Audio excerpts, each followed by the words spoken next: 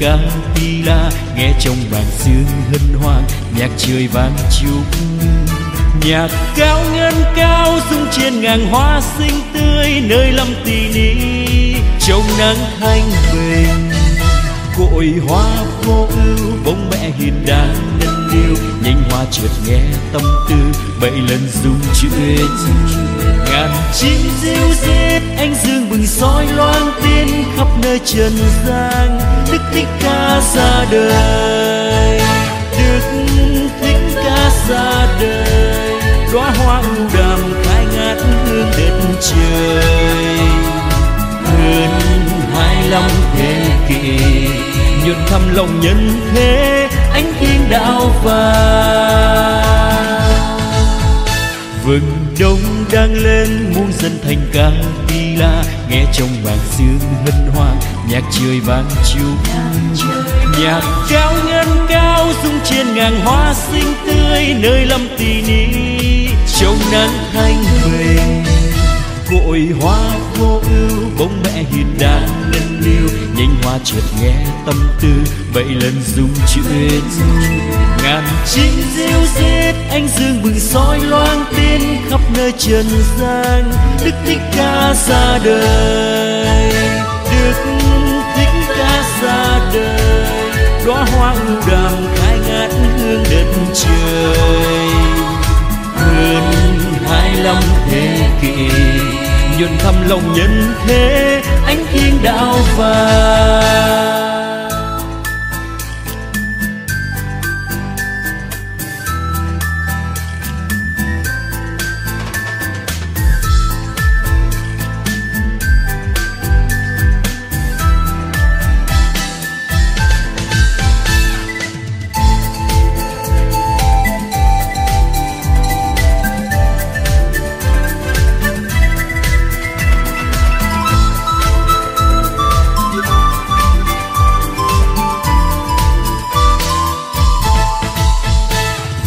đông đang lên muôn dân thành ca đi la. Nghe trong màn sương hân hoan nhạc trời vang chúc nhạc cao ngân cao dung trên ngàn hoa xinh tươi nơi lâm tỳ ni trong nắng thanh bình cội hoa vô ưu bông mẹ hiền đang nâng niu nhanh hoa chợt nghe tâm tư bảy lần dung chuyện ngàn chim diêu diết anh dương bừng soi loan tin khắp nơi trần gian. Đức thích ca ra đời. Đức thích ca ra đời. Đóa hoa ưu đàm khai ngát hương đất trời. Hơn hai lòng thế kỷ, nhuận thăm lòng nhân thế, ánh thiên đạo vàng. Đức thích ca ra đời. Đóa hoa ưu đàm khai ngát hương đất trời. Hơn hai lòng thế kỷ nhuận thăm lòng nhân thế, ánh thiên đạo vàng. Hoa khô ưu bông mẹ hiền đàn nhân liêu nhanh hoa trượt nghe tâm tư, bảy lần dung chuyện ngàn chim diêu diết anh dương bừng soi loan tin khắp nơi trần gian, đức thích ca ra đời đức thích ca ra đời, đóa hoa ưu đàm khai ngát hương đất trời. Hơn hai năm thế kỷ, nhuận thăm lòng nhân thế, ánh thiên đạo vàng. Đức thích ca ra đời, đóa hoa ưu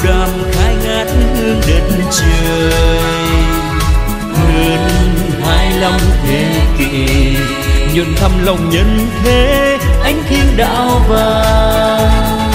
Hơn hai năm thế kỷ, nhuận thăm lòng nhân thế, ánh thiên đạo vàng.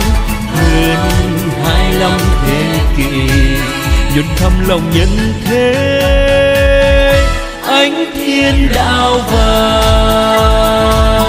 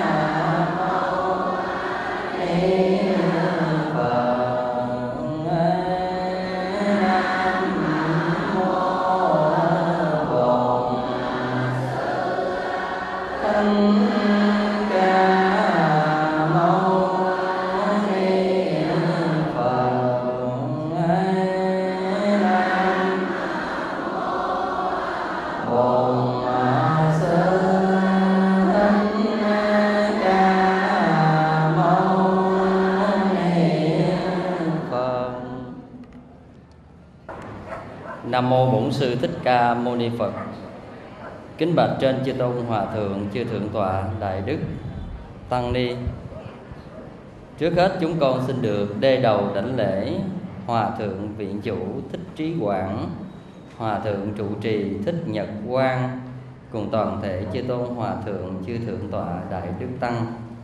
Kính thưa quý Phật tử, hôm nay nhân kỷ niệm ngày sinh nhật của Đức Từ Phụ Thích Ca Mâu Ni, lần thứ 2636 Phật lịch 2556 Dương lịch 2012 Chúng tôi xin gửi lời cầu chúc sức khỏe, Nguyện cầu mười phương dư Phật gia hộ cho toàn thể quý Phật tử Sống an lành, hạnh phúc trong ánh hào quang của Đức Thế Tôn. A Di Đà Phật. Xin thưa các vị Hôm nay là cái ngày hạnh phúc nhất của người con Phật chúng ta. Và tôi lâu lắm rồi tôi mới có dịp trở về giảng đường Ấn Quang Để chia sẻ với các vị. Nhất là Phật tử Ấn Quang, có khi nào nhớ tôi không? Ai nhớ đưa tay coi. Chân thành cảm ơn các vị. Chừng nào mà tôi vắng mặt không ai nhớ, Lúc đó là thôi buồn.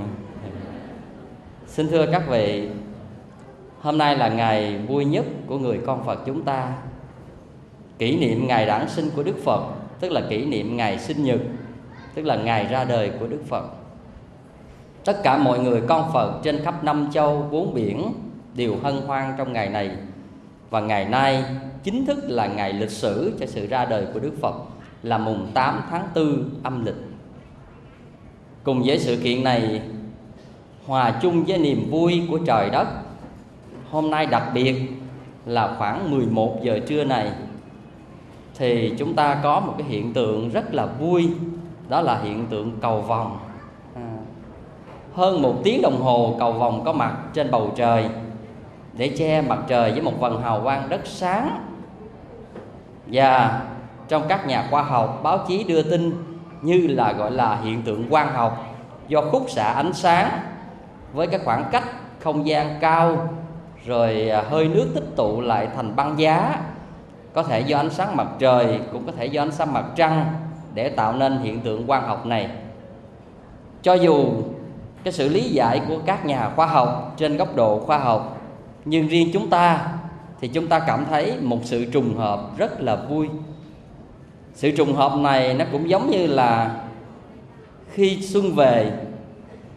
Chúng ta biết đương nhiên là xuân về, hoa mai nở đó là nguyên tắc của chu kỳ, của thời tiết, của các loài thực vật. Nhưng mà trong những ngày đó, nếu chúng ta thấy một cây mai, chúng ta đúng thời điểm mà nó nở, chúng ta cũng cảm thấy rất hạnh phúc, an vui. Trong cái quan niệm của chúng ta, cho dù sự thật như thế nào, chúng ta chưa biết. Nhưng mà quan niệm chúng ta cho rằng đó là những niềm phúc lạc cho gia đình chúng ta. Một cây mai nở đúng thời, trong vườn chúng ta những loài hoa vào mùa xuân đều đua nở thì chúng ta cảm thấy rất an vui. Cũng giống như chúng ta khởi công một công trình. Khi chúng ta chuẩn bị làm một công việc cái trời mưa quan niệm của chúng ta là trời mưa là hiện tượng của quy lực trời đất. Nhưng mà trong lúc chúng ta khởi công nó có một sự trùng hợp là thời điểm đó mưa. Thì quan niệm là ai chuẩn bị cất nhà khởi công mà ngay ngày đó mưa thì chúng ta nghĩ sao? À, chúng ta sẽ sẽ làm giàu. Giàu không thì chưa biết nhưng mà nó làm cho chúng ta sung sướng và vui vẻ, có phải vậy không? Trong khi thực tế nó vẫn là một hiện tượng thiên nhiên, nhưng mà về trong quan điểm của chúng ta, nó là như thế. Cho nên riêng tôi, hiện tượng trời đất là quy luật tự nhiên, nhưng nếu nó có một sự trùng hợp, rất là hợp thời, hợp lý, trong một thời điểm ngày lịch sử này, tôi cũng cho đó như một điềm lành, như một niềm vui với người con phật chúng ta. Các vị có đồng ý không? A di đà phật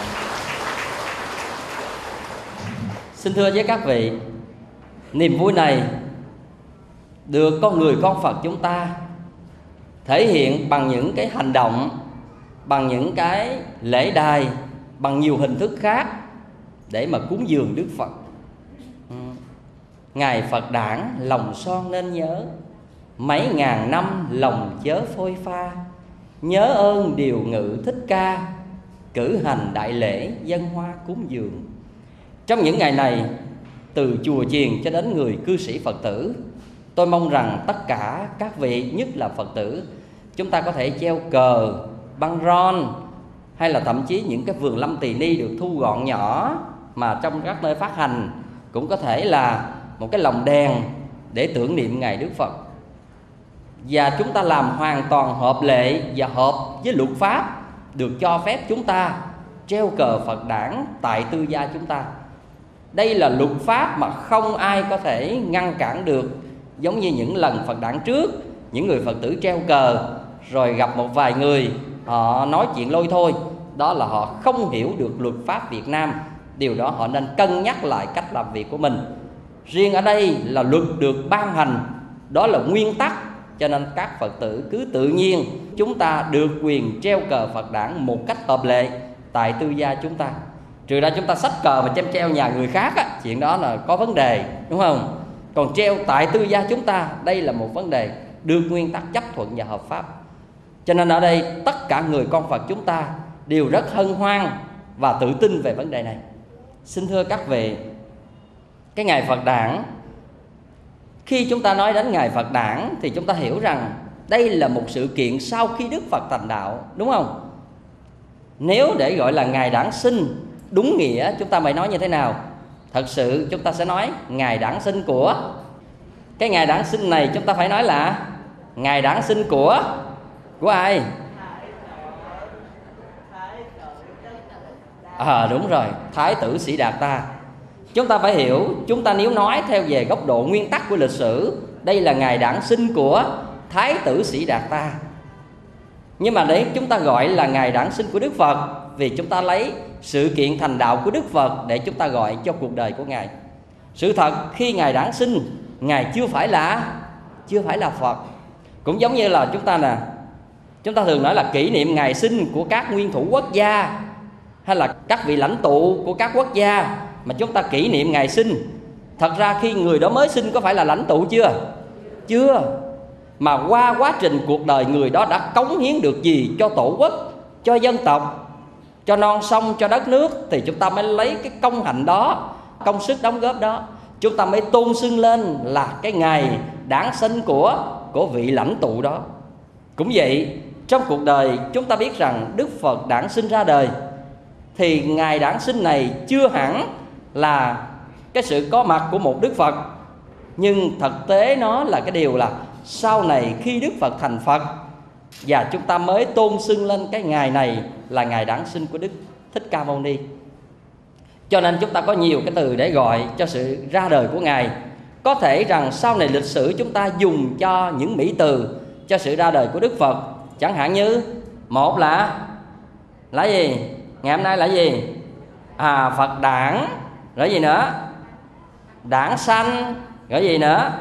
Giáng sinh, rồi gì nữa? Thị hiện cho dù bất cứ từ ngữ nào, thì đều nói lên cái sự kiện ra đời của của thái tử sĩ đạt ta hay là đức phật thích ca mâu ni sau này. Xin thưa các vị, chúng ta được biết một sự kiện vô cùng trọng đại trên cuộc đời này, mà theo quan niệm của tất cả người con Phật chúng ta, đó là có một không hai. Và theo nguyên tắc của Phật giáo Nguyên Thủy sự ra đời của Đức Phật trong hiền kiếp chỉ có một mình Đức Bổn Sư Thích Ca Mâu Ni và không bao giờ có một vị Phật thứ hai. Tất cả những vị thành đạo sau này chỉ gọi là các bậc thanh văn, thánh đệ tử của Đức Phật chứ không ai gọi ngang hàng với Đức Phật. Sự ngang hàng này chỉ có quan niệm của Đại thừa về mặt tư tưởng thì sau này trong cái nội dung bài này chúng tôi sẽ trình bày cho các vị nghe về điều này. Xin thưa các vị, như vậy, đứng về mặt lịch sử, thì chúng ta có thể nói rằng cái ngày Phật đản là ngày mùng 8 tháng 4 âm lịch. Nhưng đứng về mặt tư tưởng, thì chúng ta biết rằng chữ Phật là để chỉ cho cho đấng giác ngộ mà chữ Phật cũng là danh từ chung để chỉ cho cái gì? Để chỉ cho cho sự giác ngộ của của tất cả chúng ta hay là tất cả chúng sinh phật được định nghĩa là sự giác ngộ hay là sự tỉnh thức, đúng không? Như vậy, đứng về mặt danh từ riêng để chỉ cho đức phật lịch sử, thì chúng ta nói rằng hôm nay là ngày đản sinh của đức thích ca thích ca mâu ni. Còn đứng về mặt tư tưởng thì chúng ta quan niệm thế nào? Tư tưởng thì khi nào chúng ta có giác ngộ, có tỉnh thức thì khi đó có đức phật ra đời, đúng không? Đức phật ra đời đồng nghĩa với sự hạnh phúc của tất cả chúng sinh trên cuộc đời này. Nó đồng nghĩa với khi nào tâm hồn, tâm tối, vô minh, không có sự giác ngộ, không có sự tỉnh thức thì đồng nghĩa với với sự sự đau khổ. Còn khi nào có sự giác ngộ, có sự tỉnh thức thì lúc đó có mặt đức phật ra đời và có sự hạnh phúc của tất cả chúng ta vì vậy, hôm nay chúng tôi chia sẻ với các vị với đề tài là hạnh phúc thai đức phật đản sinh. A di đà phật. Xin thưa với các vị, câu này các vị có quen không? Quen. Khi ngài phật đản, chúng ta đến tất cả các chùa, dường như đều có treo băng rôn về câu này. Hạnh phúc thai đức phật ra đời hay là hạnh phúc thai đức phật đản sinh, hay là hạnh phúc thai đức phật giáng sinh, vân vân. Cho dù nói những câu nào, nó cũng đều chỉ lên cái ngày kỷ niệm của đức phật là ngày đó là ngày vui nhất, hạnh phúc nhất cho người con phật chúng ta. Xin thưa các vị, câu này được trích từ trong kinh pháp cú. Kinh pháp cú trong phẩm phật đà câu 194 có nói một cách đầy đủ như thế này hạnh phúc thai đức phật giáng sinh. Hạnh phúc thai giáo pháp cao minh. Hạnh phúc thai tăng già hòa hợp. Hạnh phúc thai tứ chúng đồng tu. Và hôm nay chúng tôi chỉ chia sẻ với các vị về mặt lịch sử chúng ta nhìn nhận. Tại sao đức phật ra đời là một sự kiện hạnh phúc nhất của nhân loại nói chung hay là của người con phật chúng ta nói riêng? Và tôi trích câu đầu tiên để chia sẻ với các vị trong bài pháp thoại hôm nay, đó là hạnh phúc thai đức phật đản sinh. Và tôi chia sẻ trên căn bản của chúng ta là căn bản trên đức phật lịch sử. Sự có mặt của một con người bằng xương, bằng thịt, có trí tuệ, có học thuyết, có phương pháp để tất cả chúng ta nhận thức, tu tập và làm lợi ích cho chúng sinh trên cuộc đời này bằng hiệu quả thiết thực, thì điều này chúng tôi muốn chia sẻ các vị hạnh phúc như thế nào trong ngày đản sinh của Đức Phật. Xin thưa các vị, trước khi Đức Phật ra đời, Đức Phật đã mang một hoài vọng lớn cho tất cả chúng sinh trên cuộc đời này rồi. Và vì vậy cho nên trường bộ kinh có nói lên một câu nói lên hoài vọng của Đức Phật là ta ra đời vì an lạc lợi ích cho số đông, vì an lạc cho số đông, vì hạnh phúc và an lạc cho chư thiên và loài người. Đây là cái hoài vọng của chư Phật nói chung hay là Đức Phật Thích Ca Mâu Ni nói riêng. Tức là Ngài đã mang một hoài vọng là Ngài có mặt trên cuộc đời này là vì hạnh phúc, vì an lạc cho tất cả chúng sinh. Chúng ta cảm thấy điều này nó cũng giống như là cái sự kiện chúng ta có một đứa con trên cuộc đời vậy đó. Chúng ta có một đứa con ra đời nó gắn liền với hạnh phúc và khổ đau hay là sự hưng thịnh và sự suy vong của một gia đình. Trên cơ bản nó là như gì? Có những khi chúng ta sinh ra một đứa con, chúng ta thấy gia đình vui vẻ, an vui và hạnh phúc. Thậm chí có những người nói rằng, từ khi sinh đứa con đó ra, chúng ta ăn hên làm ra và thậm chí giàu có từ khởi điểm là là có đứa con đó. Rồi có những đứa con lại khi chúng ta sinh ra, chúng ta lại có cuộc sống bấp bênh, đau khổ hay là làm ăn suy sụp và mọi việc nó đi xuống. Thì có những lúc chúng ta quan niệm là do con chúng ta mà nó dẫn đến điều này. Như vậy, một số người có quan niệm là ác cảm với những đứa con mà khi có mặt để nó làm cho gia đình chúng ta suy sụp. Đây là chúng ta quan niệm không đúng đắn. Sự thật, một đứa con ra đời nếu tự thân nó là người có phước báo, cộng với phước báo của gia đình, hai cái này hội tụ, nó mới có một cái kết quả là đứa con này ra đời sẽ làm cho gia đình chúng ta hạnh phúc, an vui vì lúc đó phước báo chúng ta đang được đang được tăng trưởng. Nhưng mà nếu một đứa con chúng ta chuẩn bị ra đời mà nó đem đến sự trầm của gia đình hay là sự ảnh hưởng gì đó với cuộc sống của chúng ta, đồng nghĩa là phước báo chúng ta đã suy giảm cộng với một đứa bé ra đời trong một hoàn cảnh vì đứa bé không đủ phước để tận hưởng những điều kiện hạnh phúc của gia đình, hai cái này kết hợp lại, nó sẽ dẫn đến cái sinh khí và mọi thứ của gia đình chúng ta. Các vị nhớ chỗ này. Vì vậy, một đức phật ra đời mang cả một hoài vọng lớn, đồng thời cộng cả một cái phước báo mà cả cuộc đời vô lượng kiếp của đức phật đã từng làm. Cho nên đức phật có mặt ra đời đã làm an vui, lợi ích cho chúng sinh tự cái niềm sinh khí đó, mà niềm vui trong thời điểm đó, cả kinh thành ca tỳ la về được sung sướng để đón mừng sự kiện ra đời của ngài. Và trong các kinh, thường thường nói lên một cái điều là khi Đức Phật ra đời là trái đất bảy lần rung chuyển hay là mọi thứ để người ta tôn xưng rằng sự ra đời của Đức Phật nó ảnh hưởng đến nhân sinh, trời đất, vũ trụ. Đó là một con người vĩ đại để có mặt trên cuộc đời này, đặc biệt là như vậy. Tất cả những bậc thánh có mặt trên cuộc đời này đều có sự cộng hưởng của quy luật trời đất. Cho nên chúng ta thấy rằng sự có mặt của Đức Phật đồng nghĩa với sự thái bình thịnh trị của kinh thành ca tỳ la vệ thở bấy giờ. Và cái niềm hạnh phúc an lạc này nó sẽ kéo dài mãi mãi với suốt cuộc đời của Đức Phật và chúng ta thấy rằng khi mà sự kiện Đức Phật đản sinh tại vườn Lâm Tỳ Ni, thì sau khi quay trở về đón Thái tử Sĩ Đạt Ta từ vườn Lâm Tỳ Ni trở về, thì niềm vui không tả xiết của vua Tịnh Phạn Vương, rồi của cả dân chúng kinh thành Ca Tỳ La Vệ. Rồi lúc đó, Đức vua mới mời một vị tiên A Tư Đà để là tiên đón cái tướng tốt của thái tử.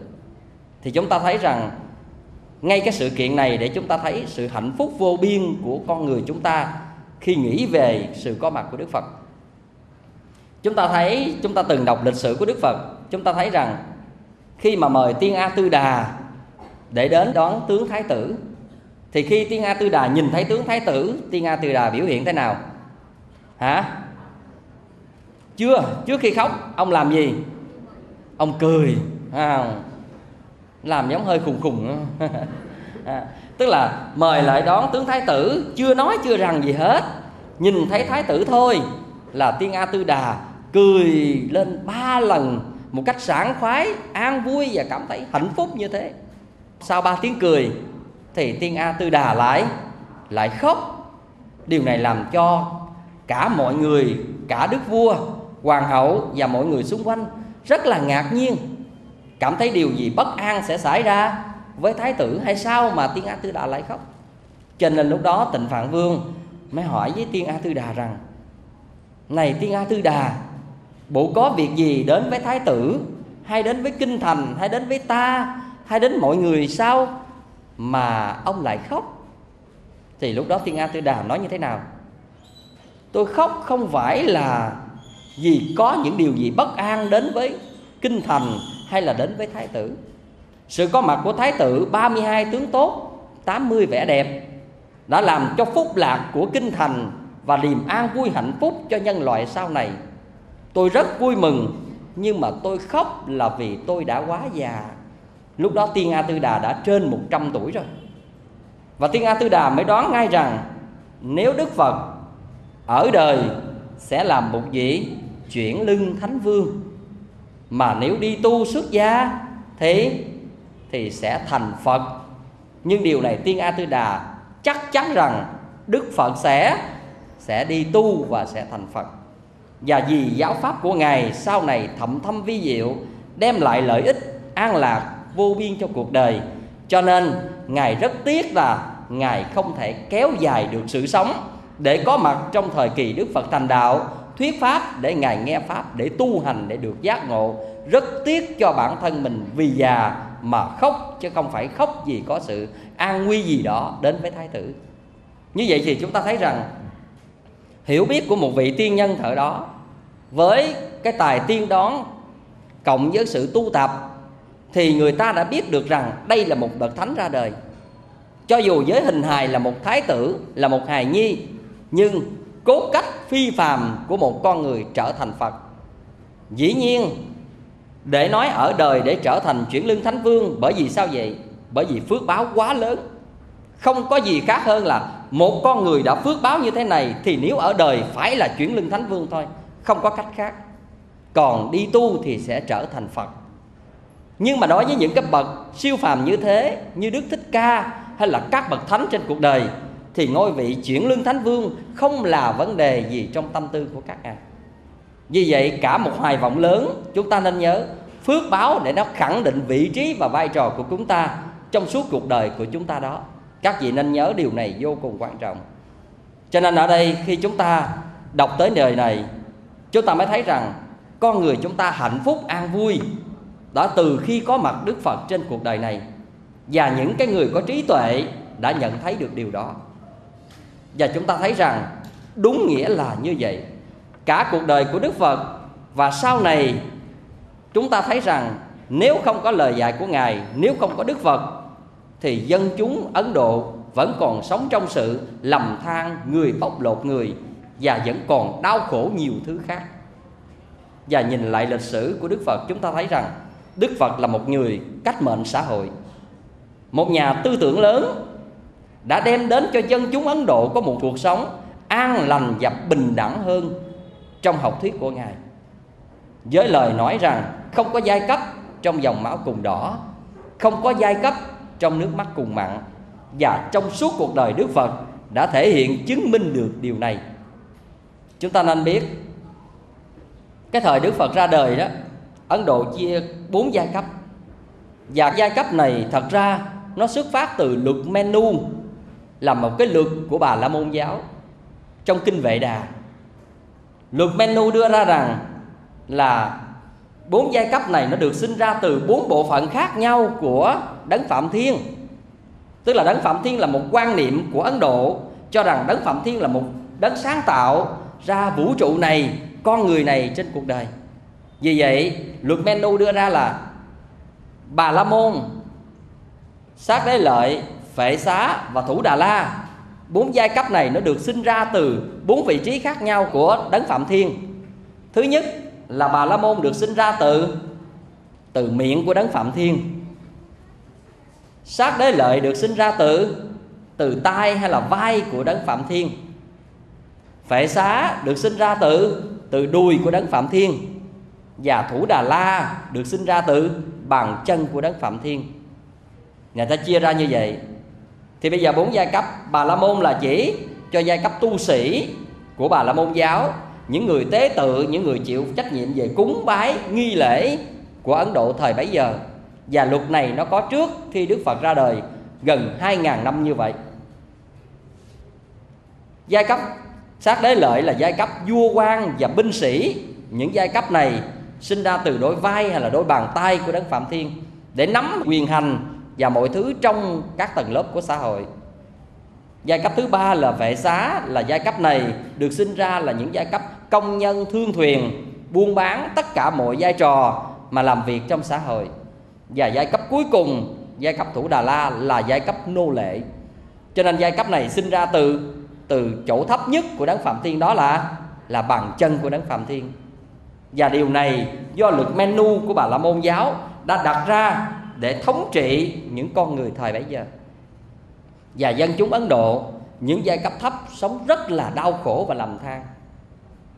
Các vị cảm thấy rằng cái thời đó đó, mà những người nào trong giai cấp mà chiên đà la hay là thủ đà la đó, ví dụ họ cầm cái rổ rau họ để ở dưới đất như thế, mà cái người này đi trên bóng mặt trời mà cái bóng của họ đi ngang qua rổ rau, thì cái rổ rau đó họ sẽ đem đổ nhưng mà trước khi họ đem đổ họ sẽ đánh bầm dập cái kẻ này.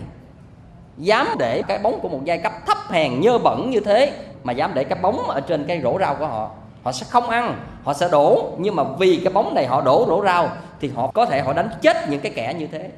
À, cái giếng nước mà giai cấp trên xài những giai cấp thấp khác mà đến đó múc uống hay là quạt xài thì cái giếng này họ sẽ lắp bỏ. Nhưng mà trước khi họ bỏ thì kẻ mà giai cấp chiên đà la đó mà dám uống cái nơi này hay sử dụng nước này, họ sẽ có thể đánh tới chết đi thôi. Rồi cuối cùng họ sẽ bỏ cái nơi sử dụng nước đó. Họ xem như là những loài súc vật trong xã hội của họ như vậy. Cả cuộc đời chỉ biết phục dịch nô lệ cho những giai cấp trên. Chính vì vậy, cho nên đời sống dân chúng của Ấn Độ thời bấy giờ sống bằng giai cấp, làm cho những người cùng đinh trong xã hội, những giai cấp thấp rất là đau khổ. Thời kỳ của Đức Phật ra đời với nhãn quan và lòng từ của Đức Phật không thể chấp nhận được một quan niệm bất công như thế này. Nhưng mà xin thưa các vị, sau mấy trăm năm Đức Phật nhập Niết Bàn thì điều này đã được lặp lại ở Ấn Độ.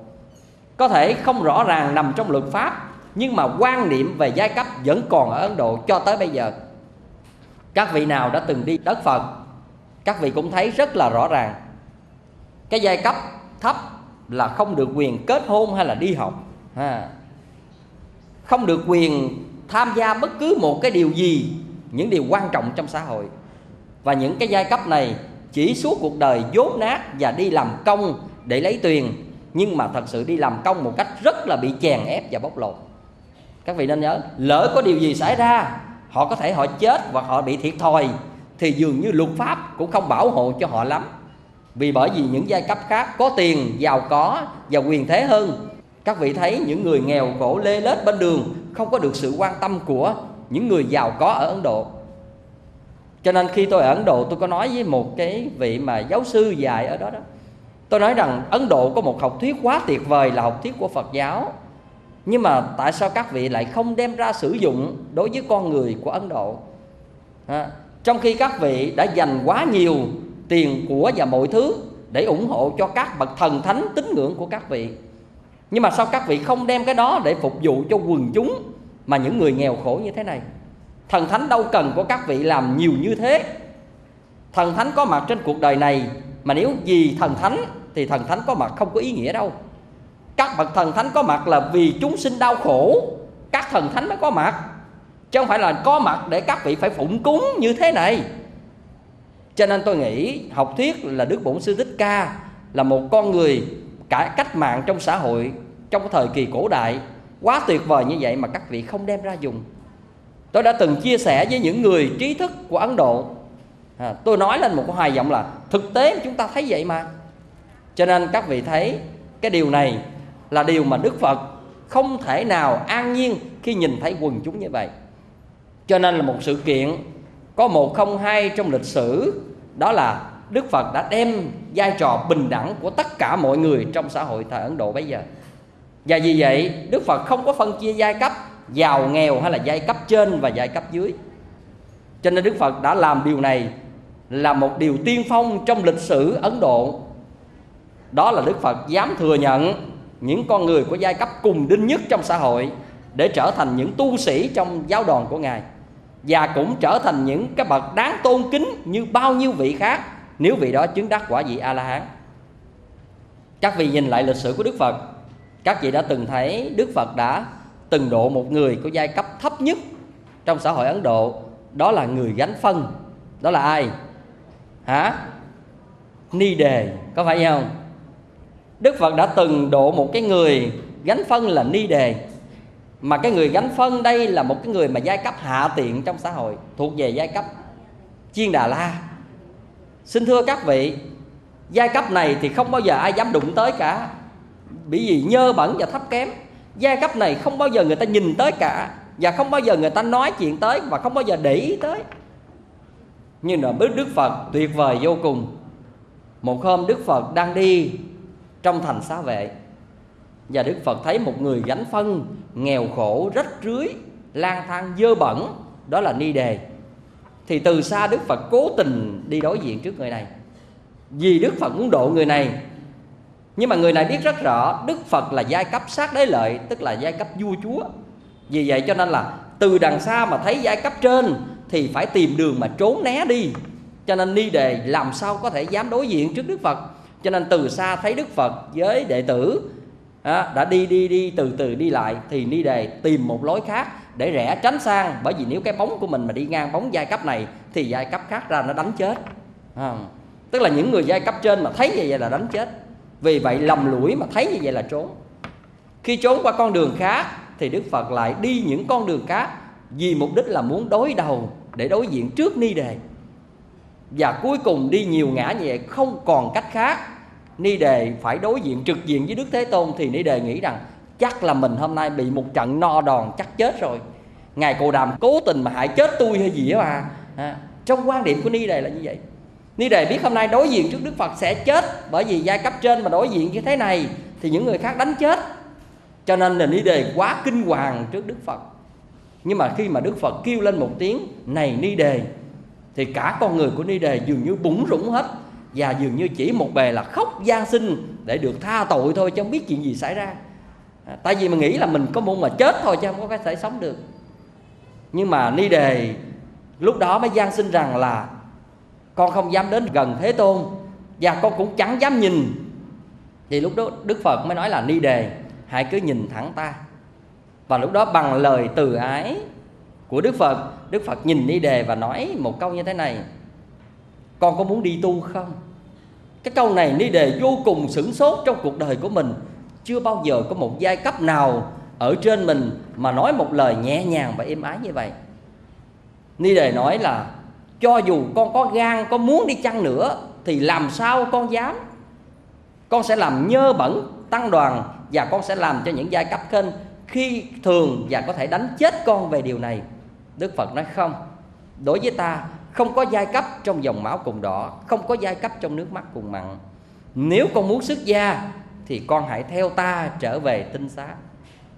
Và câu này làm cho ni đề cảm thấy xúc động và khóc trước một cái lời từ ái của đức thế tôn. Dĩ nhiên là muốn rồi nhưng mà đâu bao giờ dám nghĩ làm gì có chuyện đó trong xã hội thời bấy giờ. Cho nên các vị thấy rằng những hành động của đức phật, các vị thấy một nhà cải cách xã hội tuyệt vời lắm. Rồi đức phật mới nói, này a nan, hãy dẫn đi đề xuống sông tắm rửa sạch sẽ đi. Bởi vì ni đề đang làm một chuyện nhơ bẩn mà, đi gánh phân trong kinh thành à, để đem đi đổ. Cho nên mình, mẩy và mọi thứ, nó rất là tanh hôi và đức phật nói, a nan, hãy xuống sông tắm cho ni đề và dẫn ni đề trở về tịnh xá. Khi ni đề trở về tịnh xá kỳ viên rồi, thì đức phật mới thuyết pháp cho ni đề nghe. Và ni đề mới dứt trừ trần cấu và đức phật mới gọi, này thiện lai tỳ kheo, theo kinh điển diễn tả, thì giới lời và quy đức của đức phật, mỗi một lần gọi là thiện lai tỳ kheo, thì tất cả râu tóc trên người người đó tự rụng và pháp y tự mặc và lúc đó ni đề nghiễm nhiên trở thành một vị tỳ kheo trong giáo đoàn. Và sống trong giai cấp hạ tiện mà để trở thành một tu sĩ trong giáo đoàn là một sự kiện có mặt một không hai trong lịch sử Ấn Độ thời bấy giờ. Và chính sự kiện này đã tạo nên một sự bàn tán xôn xao trong dư luận xã hội Ấn Độ. Mọi người không thể nào chấp nhận quan điểm này. Thì xin thưa các vị, cái lời bàn tán xôn xao này nó đem đến tai của vua ba tư nặng và vua ba tư nặc, khi nghe lời này, vua ba tư nặc rất là khó chịu. Bởi vì vua ba tư nặc rất kính trọng đức phật và tăng đoàn. Và thường khi vua ba tư nặc đã đảnh lễ đức phật và tăng đoàn, mà bây giờ tăng đoàn đem một cái người hạ tiện nhất trong một cái xã hội, mà làm nghề dơ bẩn nhất nữa mà đi vô trong cái tăng đoàn như thế này, thì với một cương vị của một vị vua mà đảnh lễ thì ai coi cho? Cái quan niệm xã hội là như vậy. Cho nên vua ba tư nặc không thể nào chịu nổi với một cái việc làm của đức thế tôn như thế đó hết. Cho nên vì kính trọng đức thế tôn, vì không muốn cho tăng đoàn phải có những cái thành phần thấp kém như vậy, cho nên vua ba tư nặc mới đích thân đi đến để gặp đức thế tôn. Thì các vị biết, ngày hôm đó cũng có một điều trùng hợp. Ngày hôm đó chính vua ba tư nặc đã đến vì mục đích là cái vị ni đề được xuất gia đó. Mà trái lại hôm đó là khi đến đức thế tôn thì ni đề lúc đó đã chứng quả a la hán rồi ni đề lại ngồi ở trên tảng đá đó. Thì trước khi gặp thế tôn thì thấy một vị tỳ kheo cũng là quay nghi đỉnh đạt ngồi trên tảng đá và dường như trong nhãn quan của vua ba tư nặc cảm thấy dường như có chư thiên cúng dường xung quanh nữa. Cho nên thấy một vị tỳ kheo quang minh như vậy, cho nên thi lễ và nói với vị tỳ kheo là, thưa tôn giả, tôi muốn cần gặp đức thế tôn. Thì lúc đó ni đề là một vị thánh đệ tử a la hán, cho nên là nói là, ngài hãy đợi đây một chút và lúc đó ni đề tự ẩn thân trong tảng đá đi vào để gặp đức phật. Khi gặp đức phật rồi là thưa với đức phật là có vua ba tư nặc đến. Và đức phật chấp nhận tiếp kiến vua ba tư nặc thì cũng ni đề lại hiện ra từ trong tảng đá đó ẩn ra. Cũng giống như là từ dưới nước mà ngoi lên như thế tức là không có một cái gì cản trở và tảng đá vẫn nguyên dạng như chúng ta ở dưới nước chui lên và nước vẫn bình thường như thế. Cho nên vua ba tư nặc quá ngưỡng mộ với một vị thánh đệ tử có thần thông như thế. Nhưng mà ba tư nặc vẫn vào tiếp kiến đức phật. Thì khi gặp đức phật rồi thì đức phật biết rất rõ hôm nay vua ba tư nặc đến gặp ngài là việc gì. Ba tư nặc mới nói rằng, trước khi con muốn thưa với đức thế tôn về điều này, thì con muốn nói với đức thế tôn con hỏi là, vị thánh đệ tử của đức thế tôn ngồi trước tảng đá phía trước là ai mà có cung cách phi phàm? Và khi vào đây là có thần thông chui qua chui lại trong tảng đá như đi trong nước vậy? Thì lúc đó đức thế tôn mới nói là, đó là là ni đề. Cái người mà ta mới nhận xuất gia cách đây vài tuần à, đã chứng đắc quả vị a la hán như thế. Lúc đó vua ba tư nặc vô cùng kinh ngạc. Mình đi đến đây là mình muốn nói với đức phật là việc của ni đề loại ra tăng đoàn đem dẹp đi. Tại sao cho kẻ đó đi xuất gia thấp kém như vậy? Mà bây giờ lại cái đức phật nói trúng ý như vậy, lúc đó vua ba tư nặc sửng sốt và đổ mồ hôi hột. Và đức phật mới nói rằng, hôm nay ta biết rằng đại vương đến đây gặp ta là chỉ vì chuyện của ni đề. Nhưng mà hôm nay ni đề là người đã đắc quả a la hán như vậy đại vương có kính trọng không? Lúc đó vua ba tư nặc mới nói rằng nếu đã là như vậy, thì con cũng kính trọng như các bậc thánh. Và lúc đó đức phật mới nói rằng, này đại vương, nếu trong một ao hồ có một bông sen thanh khiết, tươi đẹp, mọc lên từ một đống bùn nhơ, lúc đó ngài có gì bùn nhơ mà bỏ bông sen đó không? Lúc đó vua ba tư nặc mới nói rằng, không, chẳng những không bỏ bông sen mà do bùn nhơ đã kết thành một bông sen tươi đẹp như vậy thì ngài vẫn kính trọng các bậc thánh là như nhau. Và các bông sen có mặt trên cuộc đời đều có giá trị hương thơm thanh khiết như nhau. Và vì vậy lúc đó đức phật đã chấp nhận cái lời cung kính của vua ba tư nặc và lúc đó ba tư nặc không còn nói một lời gì về tất cả các giai cấp khác nhau trong sự có mặt của tăng đoàn nữa. Như vậy thì chúng ta thấy ra điều này. Đức phật đã làm thay đổi lịch sử của ấn độ với quan niệm như vậy, chúng ta thấy rằng đức phật đã cho một người như thế để xuất gia, để giác ngộ, để thành phật, để chứng đắc a la hán thì cái điều này với quan niệm của đức phật là phật tánh bình đẳng. Chúng ta thấy rất rõ, cái bình đẳng thứ nhất là bình đẳng các vai trò khác nhau trong xã hội. Tức là đừng để cho người này và người khác phải chênh lệch nhau, bóc lột nhau. Và cái bình đẳng thứ hai từ cái điều này đã đem đến cái tinh thần bình đẳng trong phật tánh là bản thể của mọi chúng sinh. Tức là tất cả chúng sinh giai hữu phật tánh, tức là tất cả chúng sinh đều có tánh phật và sẽ thành phật. Như vậy đức phật đã làm được một điều vĩ đại trong lịch sử. Ni đề là kẻ gánh phân, là giai cấp thấp nhất trong xã hội ấn độ, vẫn được xuất gia và vẫn đắc quả.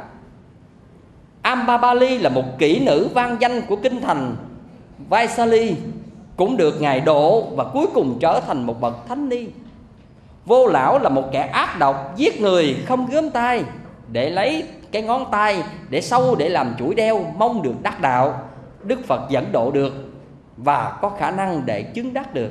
Như vậy chúng ta thấy là tăng đoàn của Đức Phật, ngoài các bậc thánh là những hàng vua chúa và các giai cấp cao, quyền quý, giàu có, sang trọng, thì bên cạnh đó cũng có những giai cấp thấp hèn và làm nhiều cái ngành nghề khác nhau. Bên cạnh đó, có những ngành nghề mà chúng ta xem như là dơ xấu trong xã hội, đó là những nghề như kỹ nữ chẳng hạn. Quan niệm của chúng ta là như vậy. Mà đức phật, đối với giáo đoàn của đức phật đức phật đã từng nói, giáo pháp của ta cũng như nước nước có khả năng rửa sạch tất cả các bụi nhơ, bu bám vào cho dù là vật cao quý hay là vật thấp kém, đều có khả năng rửa sạch cả. Giáo pháp của ta cũng như đất có thể dung chứa tất cả những loại cao quý cũng như những loại thấp hèn. Giáo pháp của ta cũng như lửa có thể đốt tất cả các loại hương liệu thơm tho, cũng như có thể đốt tất cả những hương liệu hôi dơ khác. Đức phật với lời nói này, đức phật đã làm cho giáo đoàn của ngài đã trở thành một điều đặc biệt nhất trong lịch sử. Và vì vậy cho nên đức phật đã đem đến một cái cuộc sống rất là thanh bình trong cái xã hội ở ấn độ thời bấy giờ. Chúng ta biết nhờ đức phật như vậy mà cái cảnh người bóc lột người nó bớt đi. Bởi vì vua chúa đều là đệ tử của đức phật hết á. Ba tư nặc là một trong những đất nước rất lớn của nước xá vệ. Nè, a xà thế là một trong những vị vua của kinh thành vương xá của nước ma kiệt đà. Và rất nhiều vị vua khác đều là đệ tử của đức phật. Mà vua đã là đệ tử của đức phật thì lời dạy của đức phật lúc nào cũng ảnh hưởng đến tất cả những vị này. Cho nên, cái hành động đó đã đem đến là để xóa bớt cái khoảng cách của dân chúng ấn độ. Cho nên thời của đức phật, con người, những giai cấp thấp rất là hạn chế sự lầm than, đau khổ và hạn chế đi tối đa cái việc mà đánh đập, bóc lột và tàn ác của giai cấp trên. Xin thưa các vị, như vậy từ sự bình đẳng của về một lịch sử của con người thực tế dẫn đến bình đẳng về trên phương diện của tu tập, tức là sự chứng đắc, có nghĩa là phật tánh bình đẳng mà nãy tôi nói. Sự chứng đắc bình đẳng này là tất cả chúng ta đều có khả năng thành phật, tức là trở thành như đức phật. Chứ không riêng đức phật có mặt trên cuộc đời này một mình đâu. Với quan niệm của nguyên thủy phật giáo thì cuộc đời này chỉ có một mình đức phật là một bậc a la hán chánh đẳng giác. Còn tất cả các thánh đệ tử của đức phật chỉ thành tựu a la hán thôi và quan niệm của đại thừa, tức là quan niệm của bắc tông, thì tất cả chúng ta đều có khả năng thành phật và bình đẳng như đức phật. Và vì vậy, kinh pháp hoa là một trong những bản kinh mà chúng ta cảm thấy được đưa lên vai trò của phật tánh bình đẳng. Đó là cái phẩm mà chúng ta nhớ là chúng ta đọc cái phẩm là đề bà đạt đa. Trong cái phẩm đề bà đạt đa, cái phần cuối, chúng ta thấy cái gì? Cái hình ảnh trao đổi, nói chuyện giữa hai cái vị thánh, đó là bồ tát trí tích và ngài văn thù sư lợi, có phải không? Đang nói về cái việc mà văn thù sư lợi đi xuống cung rồng ta kiệt la để thiết pháp để độ chúng sinh ở loài rồng ở trong biển lớn. Và lúc đó ngài xá lợi phất nghe cái sự độ của ngài văn thù, độ tất cả chúng sinh trong loài rồng và trong đó có những người đã giác ngộ thành phật thì xá lợi phất không thể tin nổi được điều này. Xá lợi Phật mới nói rằng là không thể có điều này xảy ra mà đặc biệt ở đây là khi ngài văn thù sư lợi khen con gái của vua rồng ta kiệt la chỉ có 8 tuổi thôi, mà căn tánh lanh lợi, nghe qua là đã có sự giác ngộ và có thể chứng đắc thành phật ngay, thì lúc đó ngài xá lợi phất lại càng không thể tin nổi rồi cái việc này. Xá lợi phất mới nói như thế này, đức phật tu vô lượng kiếp, tạo nên công đức vô lượng, bỏ thân mạng như các sông hằng trên cõi đời này không có chỗ nào mà không có cái sự bỏ thân của đức phật. Mà độ sanh không chán đủ như vậy, mới đủ công đức quân tu để thành phật. Vậy mà long nữ là một loại chúng sinh là rồng cái. Có nghĩa lý gì mà có khả năng thành phật nhanh như vậy? Và với tính cách là, người nữ có những điều chướng nạn mà không thể dễ dàng thành phật. Cho nên trong kinh mới đề tập là, người nữ không thể làm năm việc trong cuộc đời. Thứ nhất là không thể làm làm phạm thiên, thứ hai không được làm, đế thích, tức là trời, cõi trời, vua cõi trời 33 đó. Thứ ba không được làm chuyển lưng thánh vương. Thứ tư không được làm ma vương. Và thứ năm là không được làm phật. Như vậy người nữ không thể làm được năm việc như thế. Tại sao mà con gái của vua rồng 8 tuổi mà có khả năng để thành phật như thế này? Thì cái sự nghi ngờ này của cái ngài xá lợi phất thì ngay lúc đó long nữ hiện có mặt ở trong pháp hội liền. Và qua nhiều cuộc trao đổi, và lúc đó long nữ mới nói với xá lợi phất rằng, tôi đem dân châu báu để cúng đức phật. Cái hành động này ngài thấy có mau không? Xá lợi phất nói, rất mau. Thì long nữ lúc đó mới nói rằng, cái hành động mà tôi dân châu báu cho đức phật nó nhanh, mà ở đây nếu tôi thành phật nó còn nhanh hơn thế nữa. Và ngay lúc đó long nữ biến thành trang nam tử, hiện tướng trượng phu và thành phật ở một cõi nước nào đó. Trong cái điều này chúng ta mới thấy rằng long nữ là một loại rồng cái, là một loại súc sinh, chứ không phải là loài người. Chúng ta nhanh nhớ rồng là loài súc sinh. Loài người chúng ta là phước báo hơn mà. Trong sáu đường, loài người chúng ta thuộc về tầm giữa giữa, địa ngục, ngạ quỷ, súc sanh, trời, người và atula. Thì loài người chúng ta nằm ở phương diện giữa giữa phước báo hơn địa ngục, ngạ quỷ và súc sinh. Nhưng thua trời và dạ tu la. Như vậy thì bây giờ, một loại rồng cái mà có khả năng thành phật, điều này chưa bao giờ có trong lịch sử nguyên thủy phật giáo. Nhưng mà qua quan niệm của đại thừa, đó là phật tánh bình đẳng. Có nghĩa là tất cả chúng sinh đều có phật. Mà khi nói tất cả chúng sinh đều có phật, thì chúng sinh là không phải riêng loài người. Tất cả loài cái, loài mái, loài côn trùng, loài tất cả những cái này là chúng sinh loài người là một thành phần trong trong chúng sinh. Trời cũng là một chúng sinh mà có phước báo hơn hơn người nên gọi là trời, chứ không phải là trời là phật đâu. Trời là một chúng sinh có phước báo hơn người, nhưng vẫn còn trong chúng sinh, vẫn còn chấp nhận sự luân hồi. Chúng ta nên nhớ quan niệm này rất rõ ràng như vậy. Thành ra vì vậy, quan niệm cái phật tánh bình đẳng này là chúng sinh nào cũng có khả năng thành phật cho nên chúng ta đừng nghĩ rằng đây là heo bò, gà chó, tất cả gì nghiệp nó phải như vậy thôi. Bởi vì bản chất của các pháp vô thường, khi trả nghiệp hết, vẫn là tái sinh. Và bản thân chúng ta là một con người, nếu gieo nhiều nghiệp xấu, chúng ta cũng rơi vào trong những chúng sinh có thân phận thấp kém như vậy. Đó là quy luật của cuộc đời, chứ không phải do phật đặt ra. Một hồi nữa tôi nói về cái hạnh phúc của người con phật chúng ta, tôi sẽ nói đến điều này.